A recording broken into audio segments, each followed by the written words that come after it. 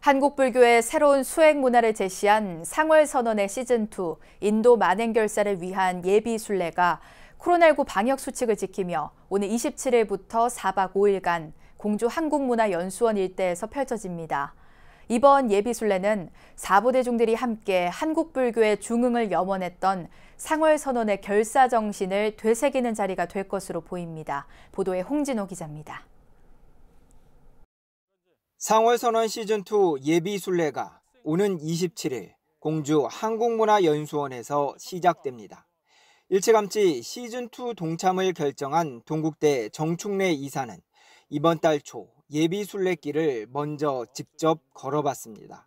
아스팔트 길에 농로까지 있는 등 쉽지 않은 한여름 30km의 도보는 인도 만행결사의 각오를 다지는 계기가 됐습니다.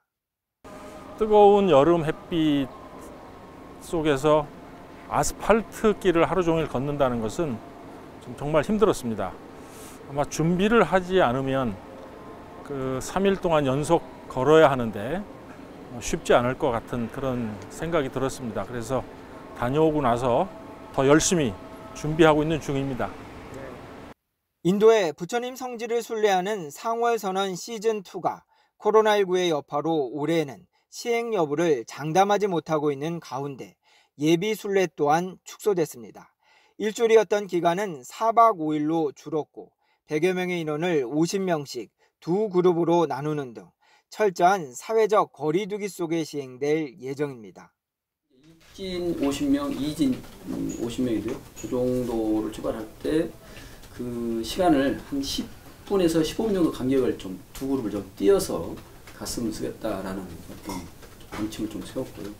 좀 전에 언급했듯이 이제 이후에 돌아와서 저녁 7시부터 9시 사이에 강의나 필요한 내용들 좀 토론도 하고 그러려고 했는데요. 그런 내용들은 다 전면 취소하는 게 좋겠다. 상월선언 시즌2에는 스님들은 물론 전직 국회의원부터 20대 대학생까지 다양한 제가자들이 신청한 것으로 알려졌습니다. 예비순례는 인도 만행결사를 앞두고 사부대중이 함께 한국 불교의 중흥이라는 상월 선언의 결사 정신을 되새기는 계기가 될 것으로 보입니다. 결사하면서 각오했던 그런 어떤 삶의 방향을 내 스스로 개인적으로는 좀 찾아 나가야 되겠다. 그런데 혼자 하는 것보다는 대중이 하는 게 굉장히 중요한 것 같아요. 예. 이번에 이제 이 많은 결사는 사부 대중이 함께 하는데 또 의미를 두고 한국 불교 중흥을 위한 긴 프로세스의 한 과정이라고 저는 봅니다. 그렇기 때문에 더더욱 동참하는 의미가 크다고 생각하고요.